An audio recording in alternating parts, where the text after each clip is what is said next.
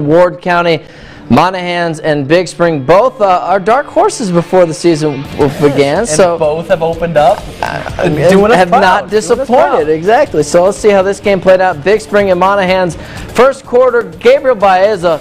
I mean, this guy was just impossible to tackle. This, this wasn't even all he was doing. Look at this. This is on third and long. Literally, there is nothing there, but he somehow that got a first down on third and 11. Now down by the goal line, similar situation about third and five and goal. And just I'm just going to run you over and get a touchdown if you don't mind. Get Seven nothing. Big Spring, and then the Loboes going for it on fourth down ensuing drive.